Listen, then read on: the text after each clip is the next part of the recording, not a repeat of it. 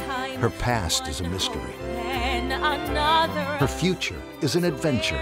Anastasia, the Broadway musical. Coming to the Hult Center May 12th through 14th. Tickets at BroadwayInEugene.com.